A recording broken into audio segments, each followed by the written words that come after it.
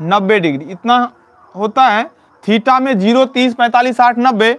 Sign sign, cos, theta नहीं होगा। और sine, cos, tan,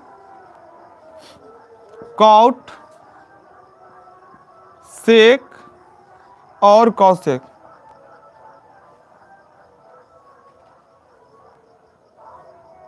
चलो, ये हो गया मान सारणी ठीक है ना? इसमें ही हमको वैल्यू फिट करना है। तो बहुत सारे स्टूडेंट रट लेता है और रट रट के तो काम चला लेता है ठीक है ना?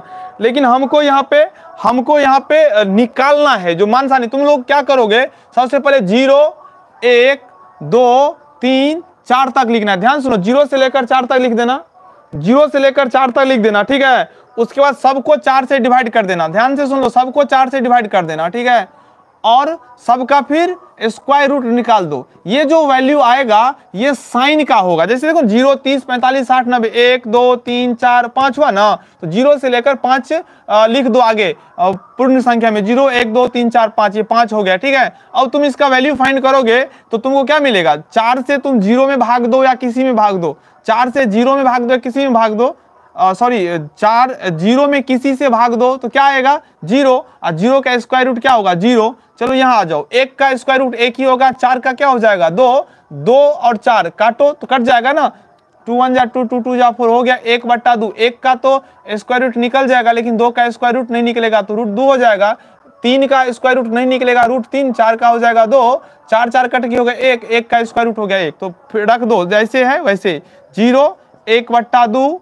एक बट्टा रूट दो, उसके बाद हो गया रूट तीन बट्टा दो और एक। फिट हो गया। साइन का वैल्यू फाइंड हो गया। बहुत ही आसान है। साइन का वैल्यू हो गया। अब क्या करो? तो साइन का जिस प्रकार से तुम लिखे हो ना, ठीक इसको रिवर्स कर दो, उल्टा कर दो, उल्टा जस्ट मैं एक और ट्रिक दूँगा जिसे तुम याद कर लोगे बहुत आसानी से। इसको रिवर्स कर दो। यानी कि नब्बे में है ना एक तो ज़ीरो में हो जाएगा एक। ये रूट तीन बट्टा दो, एक बट्टा रूट दो, एक बट्टा दो और ज़ीरो। ये साइन के बाद कॉस का भी वैल्यू फाइंड हो गया, ठीक है ना? चलो, अब टेन पे आओ। तो मैंने कल बताया था टेन थीटा बराबर होता है साइन थीटा बट्टा कॉस थीटा तुम लोगों को पता होगा। तो टेन के लिए क्या करो? साइन में कॉस से भाग दो यानी कि ज़ीरो में एक से भाग दे दो।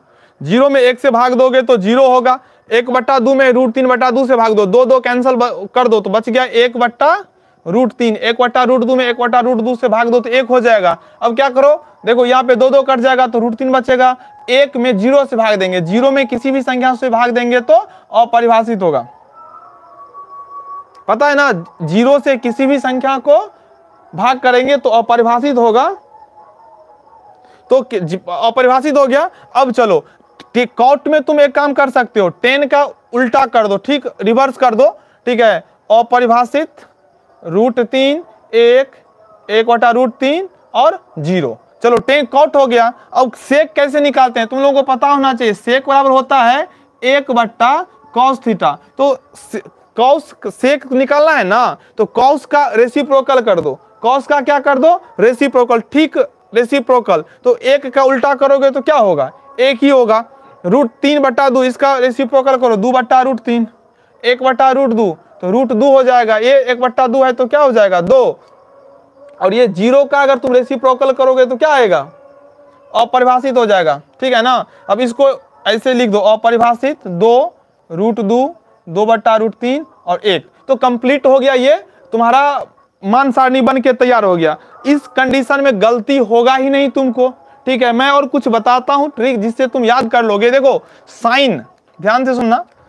और वैसे कौशिक निकालने के लिए तुम साइन का भी उल्टा करके, साइन का रेसिप्रोकल तुम फाइंड कर लोगे। साइन का रेसिप्रोकल कौशिक होगा कॉस का रेसिप्रोकल सेक होगा। साइन को डिवाइड करेंगे कॉस से तो टेन निकल जाएगा और कॉस को साइन से डिवाइड करेंगे तो कॉट निकल जाएगा। तो उतना डिवाइड करके तुमको मिलेगा क्या? साइन निकाल लेना ज़ीरो बट्टा चार ज़ीरो एक, दो, तीन, चार लिख देना।